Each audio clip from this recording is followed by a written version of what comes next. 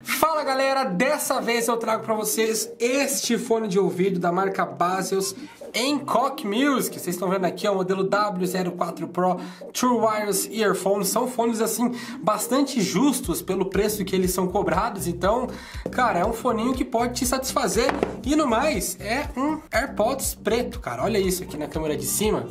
Que isso, cara? Olha, olha isso, olha isso. Isso aqui é um AirPod preto. Vai dizer, não parece? É um AirPods preto, cara. Se liga aí na minha análise logo após a vinheta.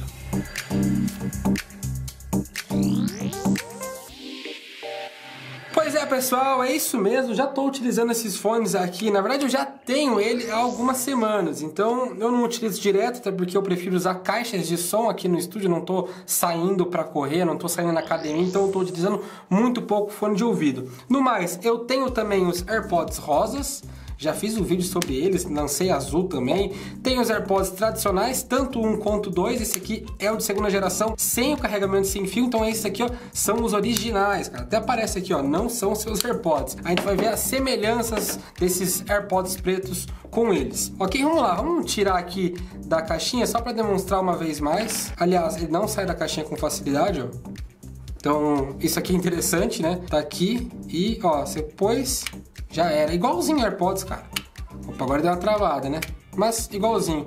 Acho muito massa. Só para vocês verem aí no detalhe, né? Realmente, eles são fones bonitos, cara. Ele é fosco nessa parte, um pouco mais brilhante, onde fica dentro da orelha, na parte interna. E nós já vamos falar sobre o som, que é o que realmente importa. Mas eles são bem bonitos, bem diferentes. A Apple podia soltar uma cor dessa daqui, né? Por que não, né? Eu não vou fazer o unboxing, porque não faz sentido fazer unboxing de fone de ouvido. Eu já queria trazer uma experiência sonora depois de escutar várias e várias músicas. Então vamos lá. Essa aqui aqui a caixinha dele.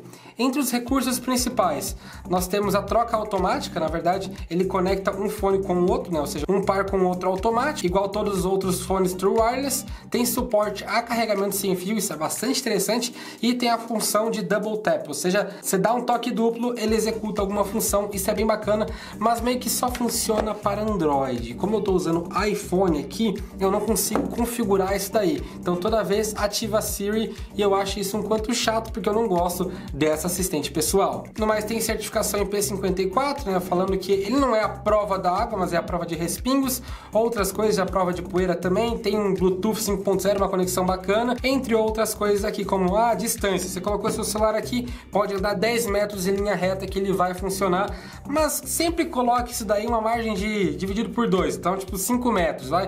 E outra, você não vai andar com o fone, sei lá, só se você estiver em casa, deixa na sua sala e anda pela casa. Aí é uma coisa. Agora, sempre tá no seu bolso, então isso aí tá tranquilo. Outra coisa aqui, ó, standby time, ou seja, tempo de uso no standby, ou seja, sem usar, né? 300 horas. Então você pode deixar ele ali 300 horas que ele ainda vai ter um pouco de bateria. E no mais são 5 horas de reprodução de música contínua, que é bem interessante, é mais até que os AirPods comuns. Então isso é um ponto positivo. E apenas para comparação, olha só como são as caixinhas de ambos os fones. Então esse aqui é um pouquinho mais gordinho, tá? Aqui ó, nós temos um cabo Lightning e aqui é um cabo USB-C, o que eu acho super positivo. Mas eles são bem parecidos, a ideia é meio que a mesma, né? Os AirPods também tem esse botãozinho aqui e esse também tem esse botão aqui. Só que ele tem um LED, aqui não está mostrando, mas ele tem um LED. Isso aqui indica se está carregando ou não, o que é bem legal. Os AirPods 2, ele tem a função com carregamento sem fio e o sem carregamento, que é esse modelo aqui, porque é um pouco mais barato. Também temos os fones agora, ó, eles são de fato muito, muito parecidos, né, ó. Esse aqui é um pouquinho mais gordinho, né, um pouco mais espesso, mas são bem parecidos. Eles não têm todos os sensores, né, até porque o sensor aqui é preto e aqui é a parte da conexão, né. A gente já vê uma diferençazinha, até porque aqui tem um alto-falante, aqui não. No mais, o som parece ser a mesma coisa, ó, aqui, tá vendo? Como eu tava demonstrando anteriormente, esse é um fone que não cai, então, ó. Agora, cadê o outro? O outro se mantém intacto. É difícil cair, esse eu quero dizer. Então agora chega de papo, vamos fazer a conexão. Vamos tirar aqui o fone, colocar uma na orelha direita, outra na orelha esquerda, já emite um aviso sonoro de pi, né? Vamos fazer o desbloqueio aqui do celular tocar aqui em ajustes e ele já está conectado. Então você não precisa ficar toda hora nos ajustes. Tá? E não interessa, ele já conecta, então ele é bem rápido, bem inteligente. Claro, já fiz a primeira conexão, depois você não precisa se preocupar. Abrir o Spotify, vou colocar nessa música aqui. Eles são bem altos, assim, o que eu quero dizer?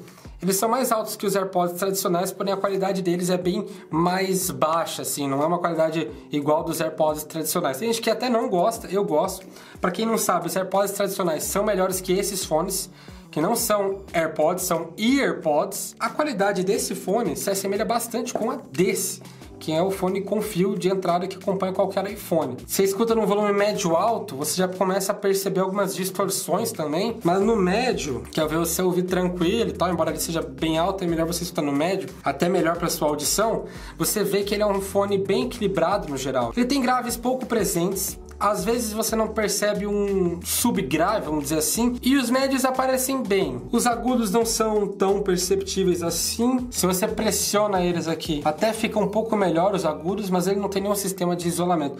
Os AirPods, eles usam os microfones para tentar dar uma melhorada, até porque ele tem microfones mais aqui que ajudam principalmente nos graves, mas aqui não. Então é aquela coisa, os agudos são perceptíveis, mas não muito presentes. No geral é um fone até que equilibrado, cara. É um fone que pelo preço que ele custa, cara, 200 reais, eu achei bom, acho uma boa opção. De fato, ele é bem alto, mas não dá pra você escutar música no volume mais alto porque há muita distorção. Será que eu recomendo? Depende, cara. Eu sou um cara difícil de analisar som, por quê? Porque eu uso um dos melhores equipamentos. Eu uso fones de ouvido da Maestro Dynamics, eu uso AirPods Pro, eu uso AirPods comuns, eu uso só fones mais premium. Aí você fala, ah, mas AirPods não é fone premium e tal.